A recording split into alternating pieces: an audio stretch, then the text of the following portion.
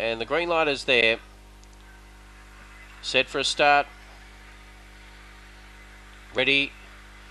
Racing Zulu Agus on the inside came out well, showing some pace too. Was uh, Big Boy Brownless going up to challenge for the lead.